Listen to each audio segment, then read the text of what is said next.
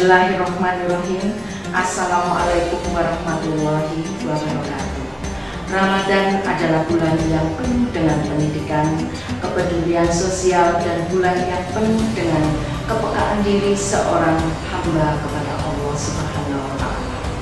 Pendidikan dan kepedulian berwujud aktivitas ibadah dalam satu bulan penuh diharapkan mampu menghubungkan makna ibadah yang telah dilakukannya dengan kondisi uh, individu dan sosialnya sehari-hari serta mampu untuk lebih mendekatkan diri kita semua kepada Allah Subhanahu wa.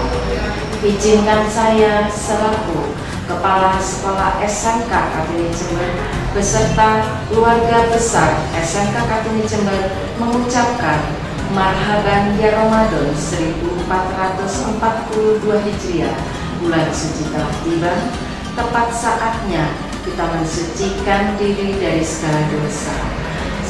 Mohon maaf lahir dan batin selamat menunaikan ibadah puasa. Wassalamualaikum warahmatullahi wabarakatuh